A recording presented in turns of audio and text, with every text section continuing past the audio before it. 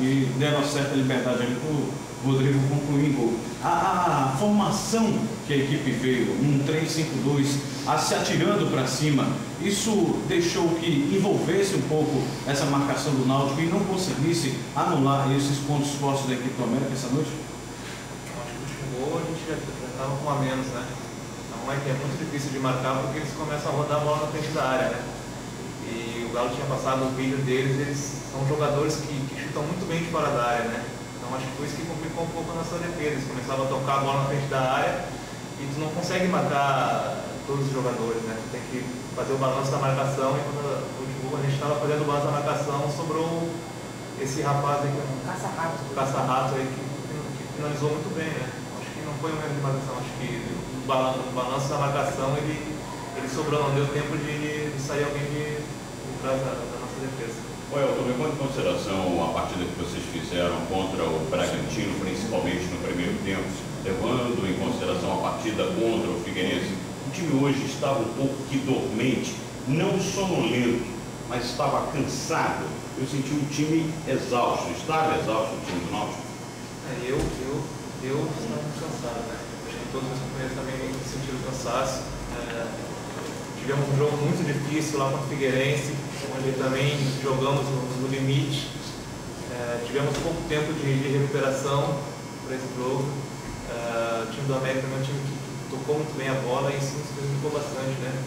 O, o cansaço que a gente que veio, que vinha acumulando, né? Isso acho que nos prejudicou um pouco nessa partida.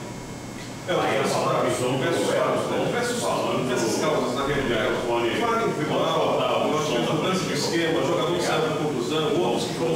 enfim. Mas qual o principal fator para essa situação de hoje, dessa dificuldade de conseguir vencer o América de Natal? O time que vem liderando o campeonato e o outro na zona de rebaixamento. Cansaço. Cansaço é muito difícil jogar com a menos. A gente, acho que a única partida que a gente não jogou com a menos foi com Curitiba, né? Então é muito difícil. A gente vem, ainda a gente vem mantendo um nível muito alto, né? Jogando dentro e fora de casa com a menos é muito difícil. Tivemos um jogo uh, onde a equipe fez uma equipe muito técnica, um jogo muito uh, corrido. Isso nos, nos gastou bastante para ir para esse jogo agora, que tivemos pouco tempo para nos recuperar. O Galo falou para a gente agora há pouco na entrevista dele que era previsível que o Náutico tivesse hoje uma partida de oscilação. Mas o César acabou de dizer que é inadmissível o Náutico perder esses quatro pontos que perdeu em casa. Como é que está essa relação da conversa que vocês tiveram com o Galo, da, que vocês já tinham de ideia do jogo, ou a conversa que aconteceu agora, depois da perda dos dois pontos do jogo?